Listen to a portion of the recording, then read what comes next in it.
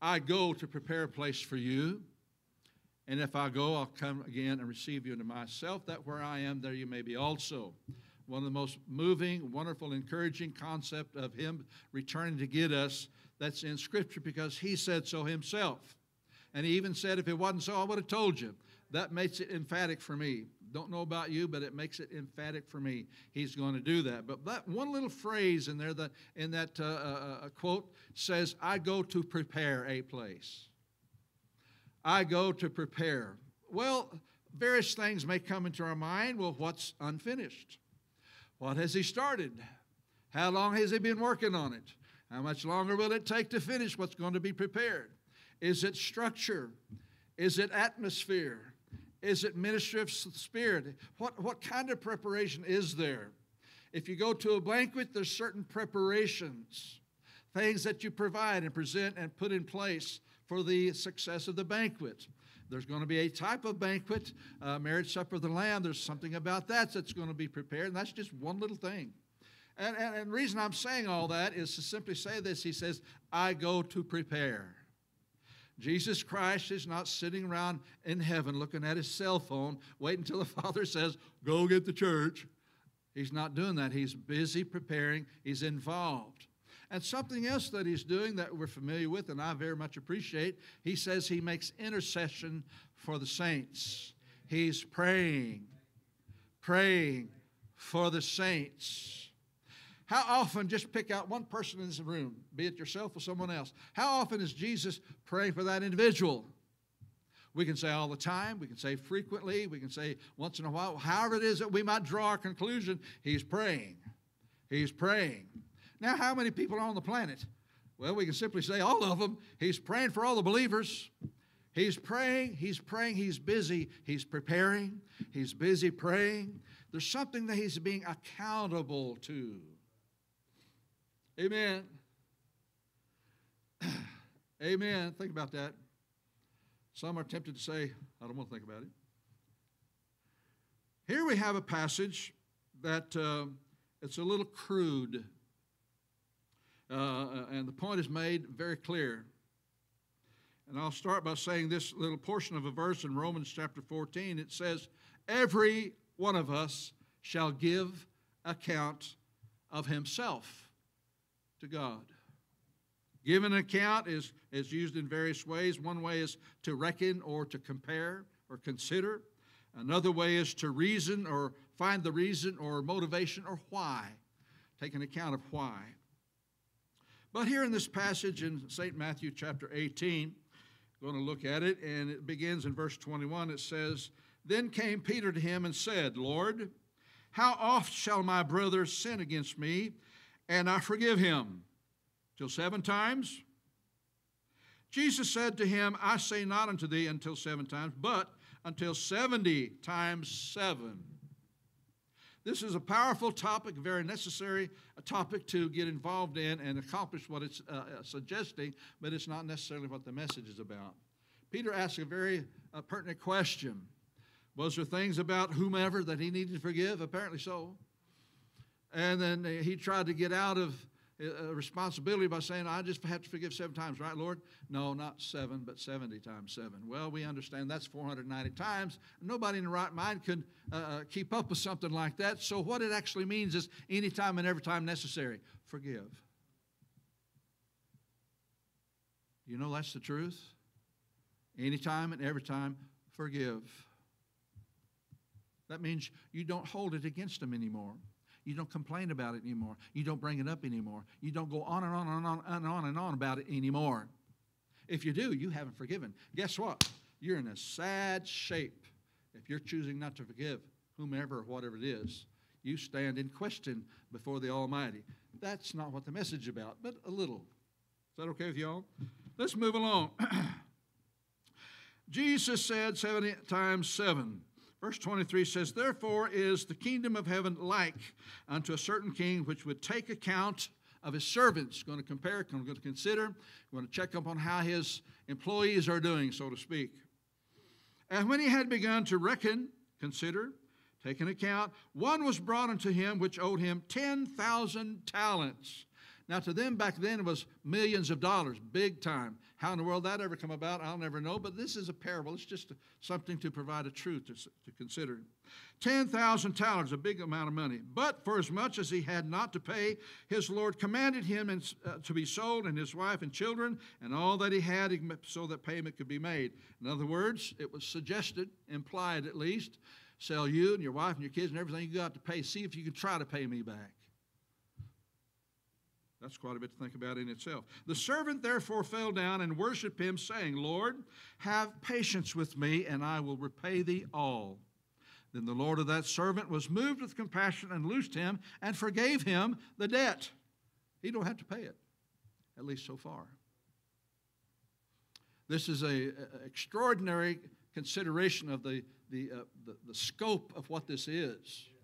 Talking about forgiveness, obviously, but look at the scope of what was given to the servant, so to speak, all of this value. And the servant didn't repay, and the decision was initially sell him and his family and everything and see if you can somehow pay back.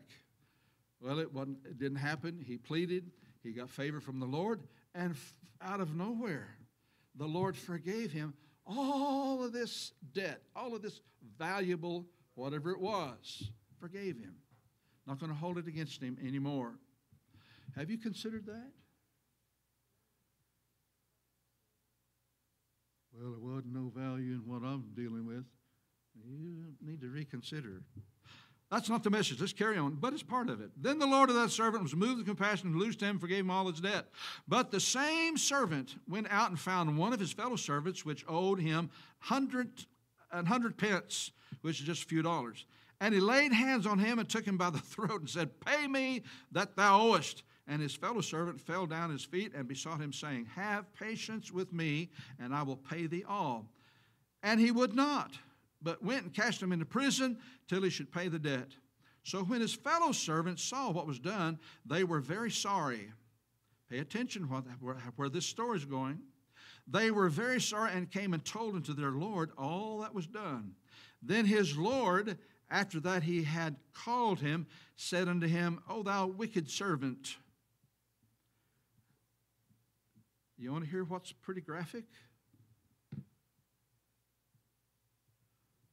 If we're not willing to forgive, you know what we are?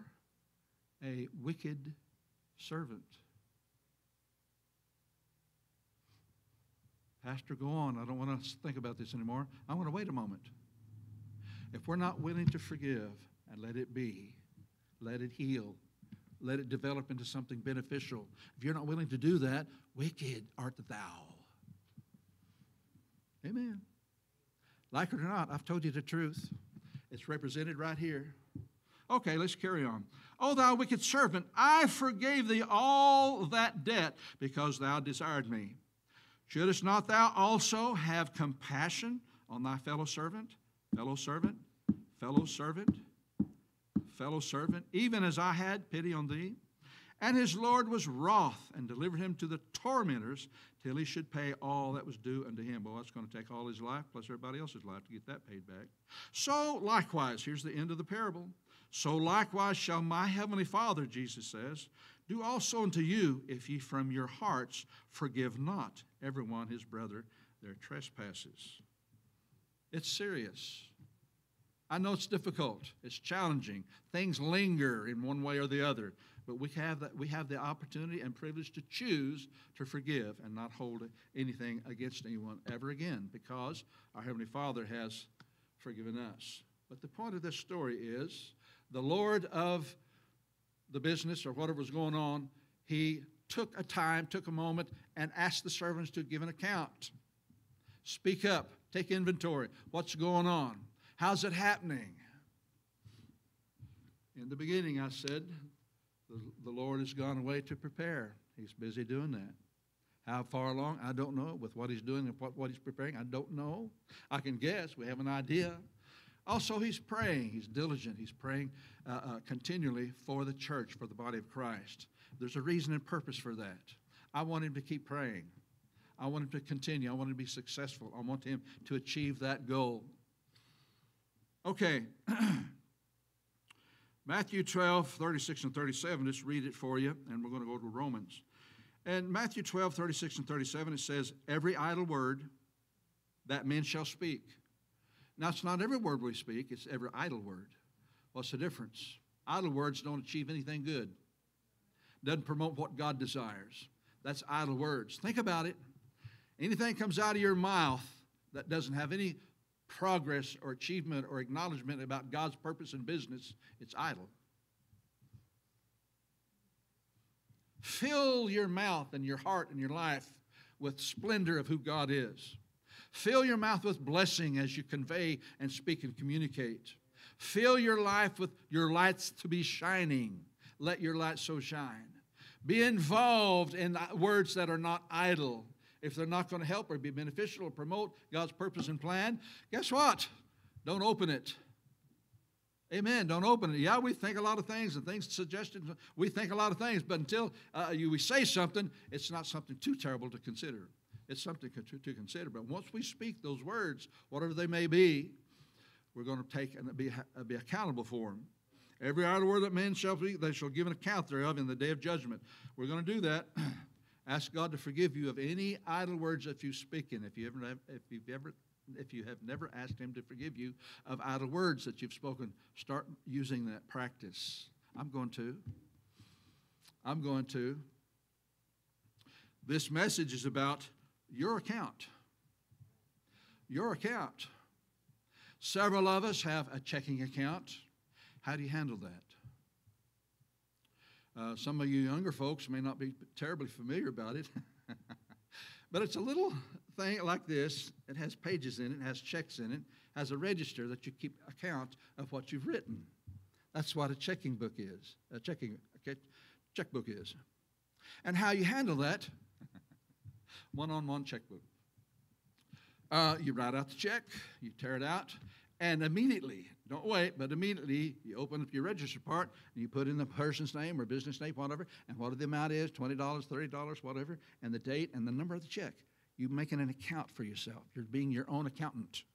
So that in time that passes by a bit next week or the next day or next year, or when the IRS comes knocking, you have an account to show. This is what's happened. This is what's going on. The Lord of the people, I want an account of the servants, what's been going on what's happened. We have an account that's being kept of us about the things we're saying. We have, some of us, a, a savings account. And if we're diligent about it, we're putting a little in every now and then, uh, creating a balance for some beneficial purpose in the future. And on occasion, you'll get a statement or you'll call the bank or whatever the case may be, and you'll find out what's there what's been going on. If you're privileged to have a, an interest that will accrue upon it, you want to see how that's accruing, see how it's going. You're not being a miser like some folks are, you're being accountable. You might even have us oh, that are on seasoned ways. We might have a retirement account that we look at and check on. We might want to adjust it. We might want to uh, steer our goal in a little different way. We're checking up on it. How is your account? Are you checking up on it? Are you taking an account? Are you taking inventory? The things you do, the things you say, whether you're involved or whether you're involved or whether you're involved, taking account of yourself. You're the one responsible. Those of us that are around you in your life, we encourage, we uh, motivate, we do various things that's for the good or for the worse. Sometimes it's for the worse. But you're the one, I'm the one making decisions concerning my account with God that's in heaven. How does your account look? Have you checked on it lately? For by thy words thou shalt be justified, and by thy words thou shalt be condemned. Watch what you say. Amen. Uh, store up in heaven things that are heavenly and glorious by the words you say, the things that you comment about. Romans chapter 14. Romans chapter 14. We're talking about your account today. Are you being accountable? You're letting it ride, and whatever happens, happens. Amen. You can apply this truth in all kinds of areas of our life. Amen. Romans chapter 14, verse 11. For it is written, As I live, saith the Lord, every knee shall bow to me, every tongue shall confess to God. So then, every one of us shall give an account of himself to God.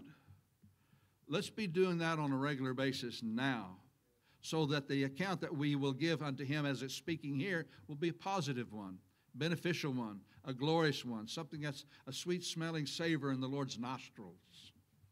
Amen. Every one of us, at one point or the other, will bow, will confess, will acknowledge his grace. And that needs to be on record. You know that?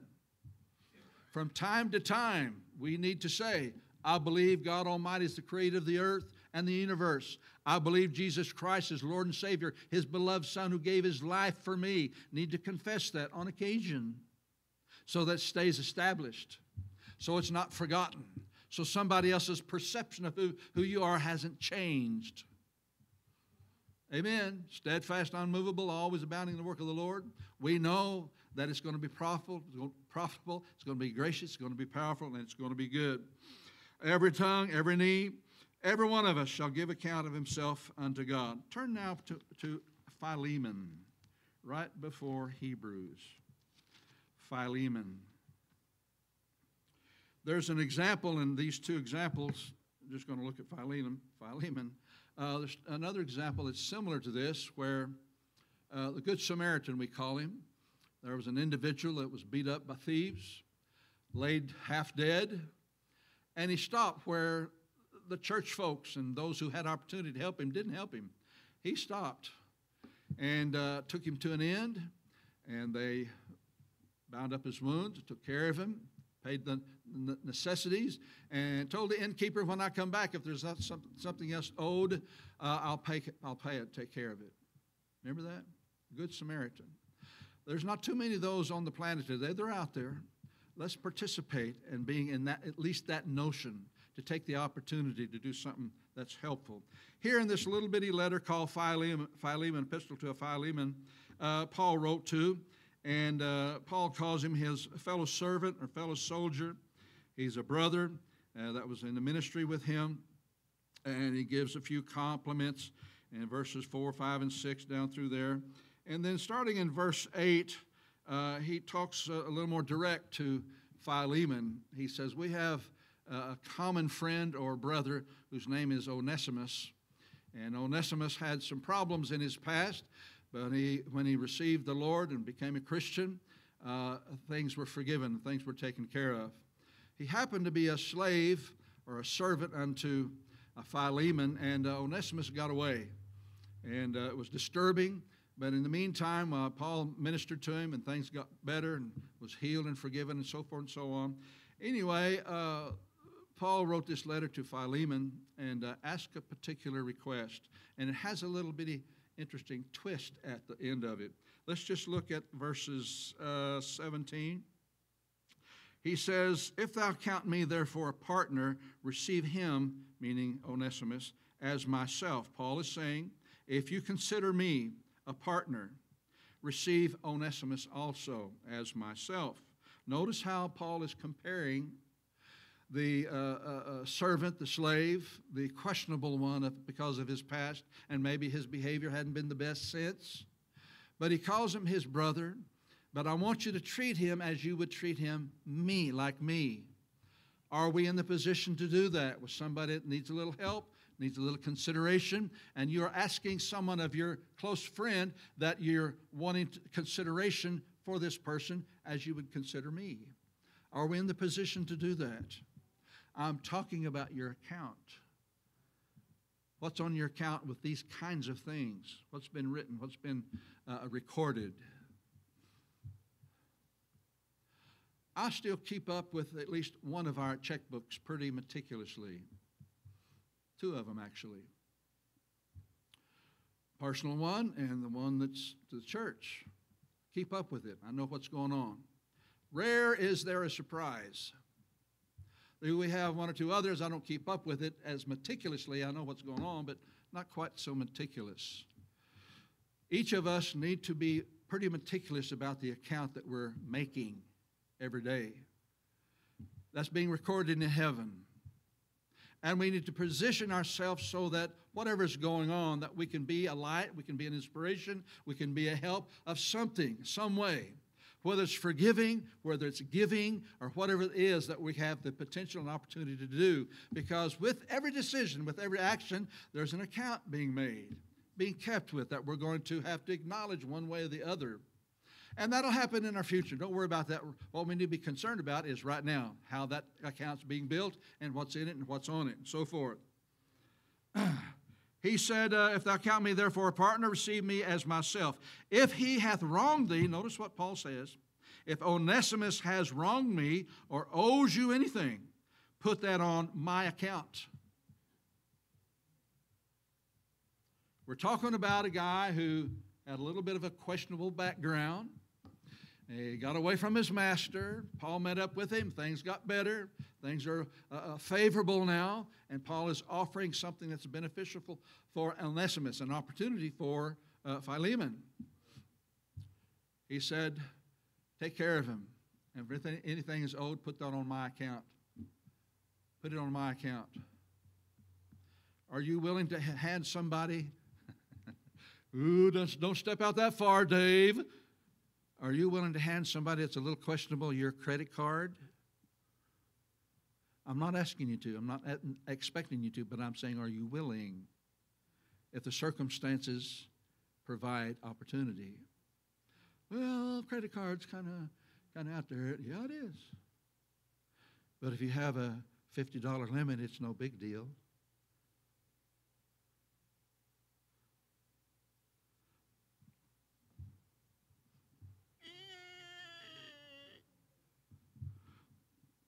Paul says in Philippians 4:17, he says, "Not because I desire a gift, but I desire fruit that may abound to your account."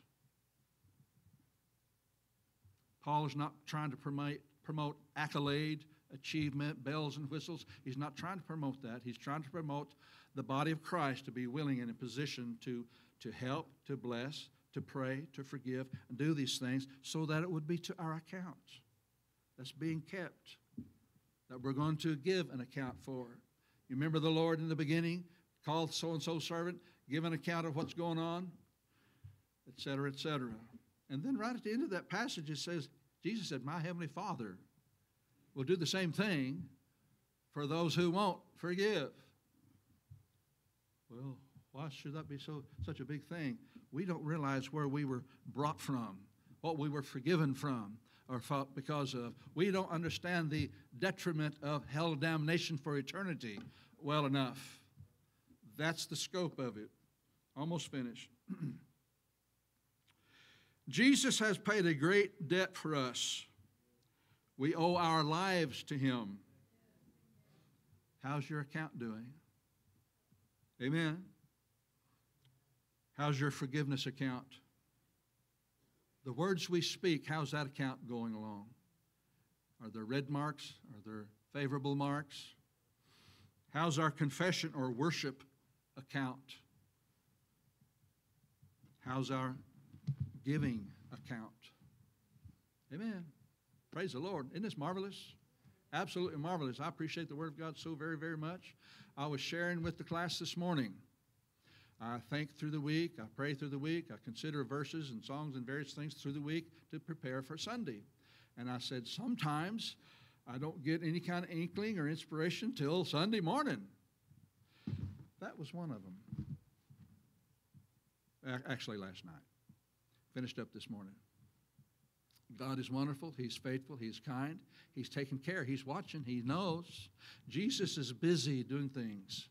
The angels are busy doing things. Things are ongoing with the body of Christ. Everyone's account is being established and promoted one direction or the other.